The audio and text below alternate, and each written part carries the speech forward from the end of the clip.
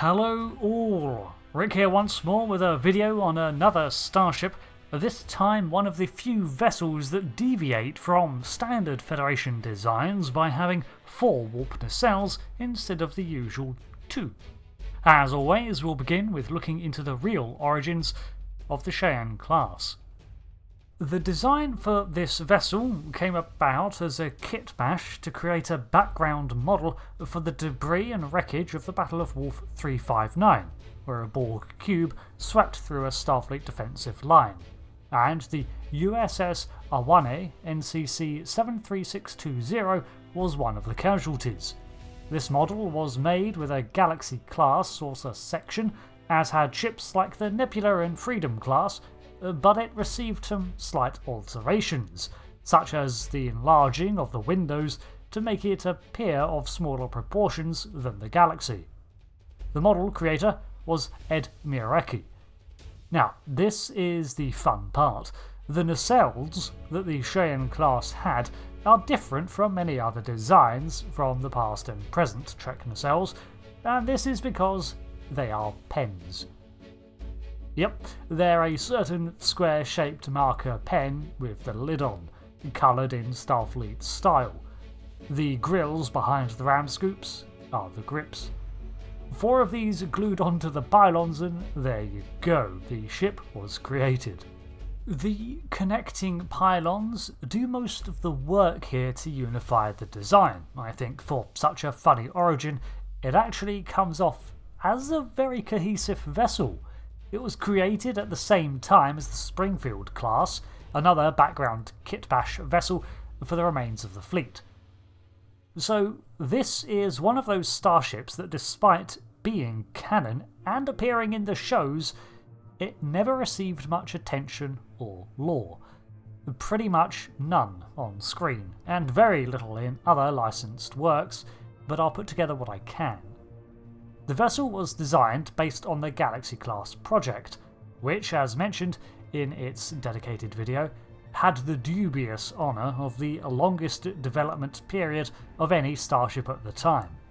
This meant that there were a myriad of vessels that branched out from that project as innovations were made in it, taking a bit of inspiration here and there, and the Cheyenne was one such class.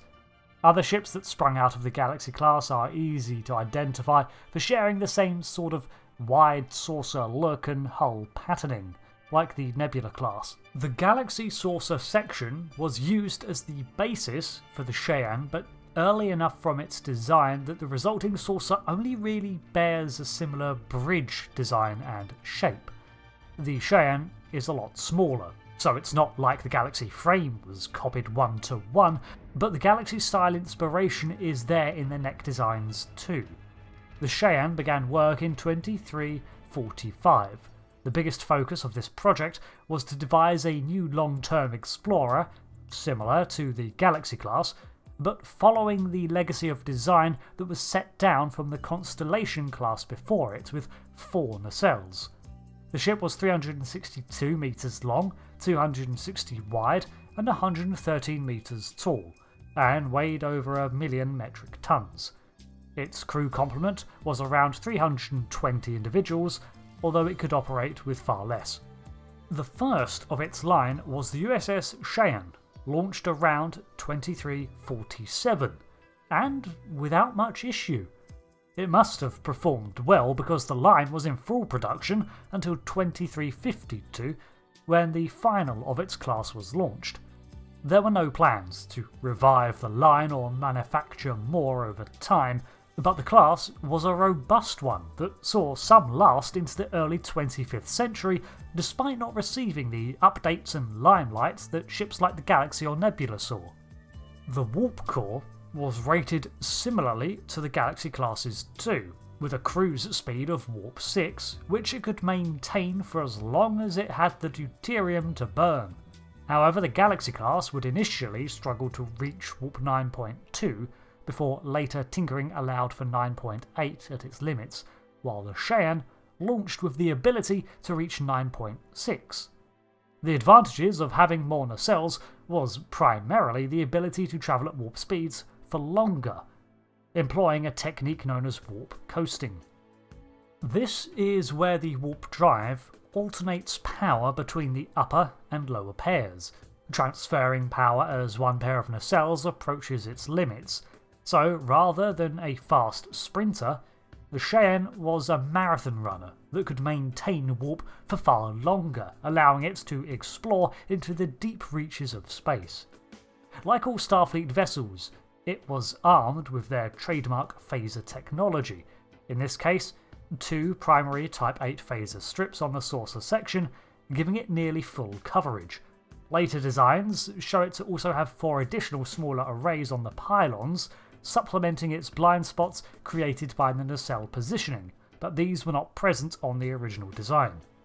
It also has two torpedo launchers, one fore and one aft. Firepower was not its strong suit, it was after all an exploratory vessel of moderate power. It had standard deflector shielding, and the primary deflector array seems to not actually be firmly established, with several designs showing it in various formats, one located on the underside of the saucer, and another having them under the hull at the pinnacle of the nacelle tower. Now, according to some, it also had the ability to saucer separate, but as the Galaxy class was the first to have this function be reversible, it implies that the Cheyenne's separation was more akin to the emergency jettisoning that other vessels employed. It did retain a captain's yacht on the underside of the saucer and a shuttle bay at the rear of the vessel, covering two decks in line with the impulse engines. The complement is not stated, but it looks to be able to hold at least six shuttlecraft, and the same again in shuttle pods. That is a guess. All in all, the Cheyenne class revolved around its four nacelle design to test out new iterations of the warp coasting design fueled by the next generation of technology. Aside from that, it really was a pretty run of the mill Starfleet exploratory cruiser. Armaments were light, maximum speed was reasonable, and the only other claim to success it has is its lifespan, considering they are still in operation, seeing even the Galaxy class enter retirement ahead of it. The four nacelle design would not be something left behind by Starfleet either. The Sagan class picking up the next era of this profile with an advanced scientific loadout. Although this unique warp design does work, Starfleet would more often opt to just create faster vessels, like the Intrepid, Odyssey, and Constitution Mark III, instead of these slower but steady vessels. However, such systems still have their place in the fleet, as we see it return with every generation of innovations in warp, and the Cheyenne is merely the 2350s era contribution to furthering the four nacelle design. Thanks for watching this video on this background class of starship. It's one of several that came out of the development of the Galaxy class, and in time I'll cover those too. But until then, I've been Rick, thanks for watching, and I'll see you next time for another lore video. Thanks again, and goodbye.